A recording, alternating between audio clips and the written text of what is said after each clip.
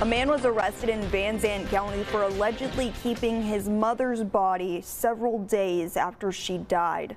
Douglas Kilburn, right here on your screen, has been charged with abuse of a corpse. Now, according to the sheriff's office, they found the body while following up on a welfare check on Kilburn's mother. They say he wrapped the body in a landscape tarp using duct tape. An autopsy has been ordered for the woman, and Kilburn could face other charges once authorities get those results.